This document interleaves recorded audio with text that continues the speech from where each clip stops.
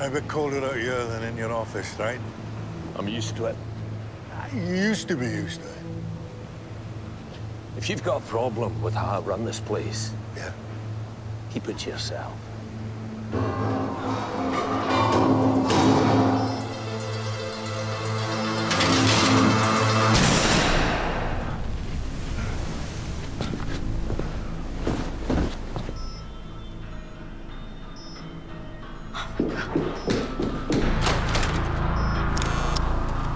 This is who I am. Medical assistance required at the communication tower. You got put on your kit! Medical assistance required at the communication tower. Bring the oxygen. Helipad. Medical assistance required at the communication tower.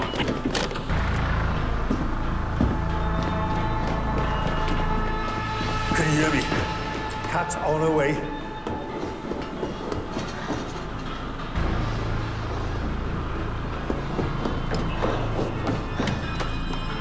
Talk to me. Talk to me. What happened?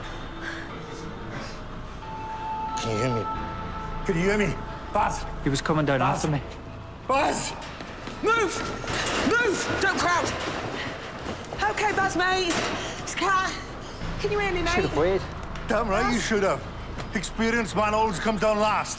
Okay, we're going to turn him round, yeah? You ready? Like was we right there. training. On my And his harness One, is unclipped. two, what the hell were you doing up there? A Job! Enough. You're not helping her.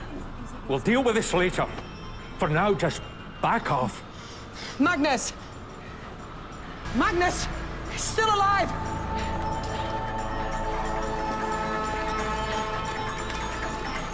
Here we go, Wes. Just going to open your mouth there's a little bit of suction there, okay? Is the radio working? Wait for the collar. It is at our end, but Find a way to contact the show. Now I'm just going to support his head. he won't fly in the fog. I want them to tell me that. Now we're going to put you on the stretcher, okay, Baz? Second lift. Bring the stretcher closer. What? I don't think they can.